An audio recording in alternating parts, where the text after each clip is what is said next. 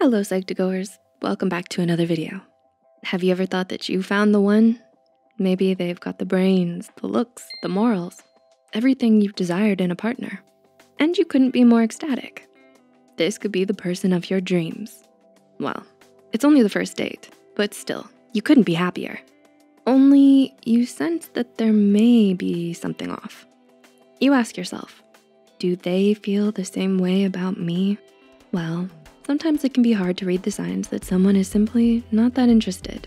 So to help you out, Psych2Go presents to you nine signs someone is just not into you.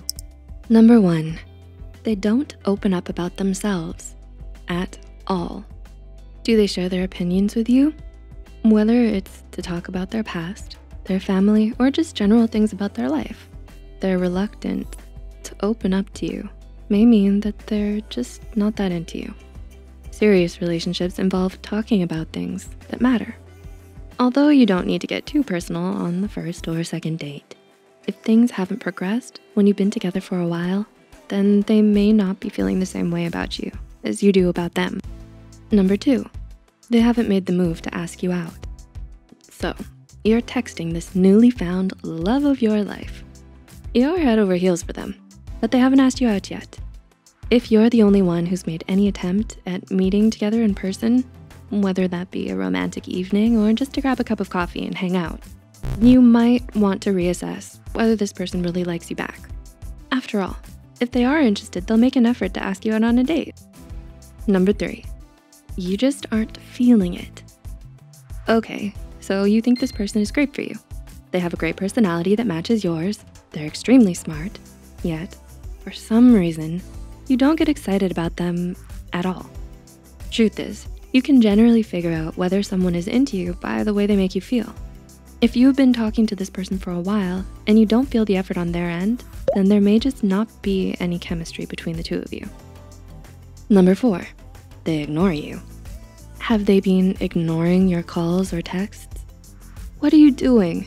If this great person doesn't care enough to call you back or respond to your texts, then they clearly don't care enough to start a serious relationship with you. In fact, they may be trying to ghost you. You can check out our video, eight signs someone is going to ghost you for more insights. Number five, their responses are short.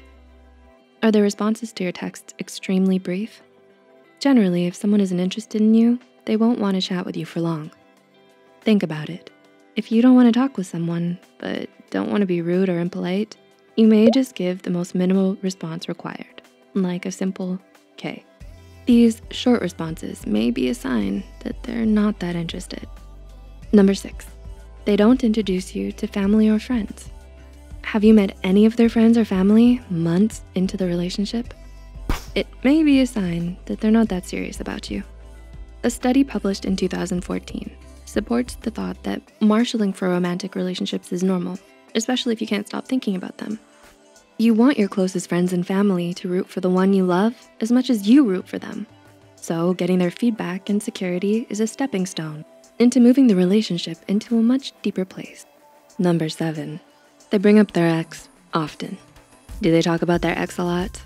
If they're talking about their ex more than they're talking about you or themselves, then it's likely that they're not over them, whether it's in a reminiscent way or a begrudging way.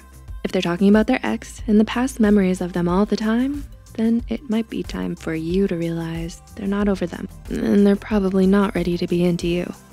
Number eight, their phone is protected at all costs.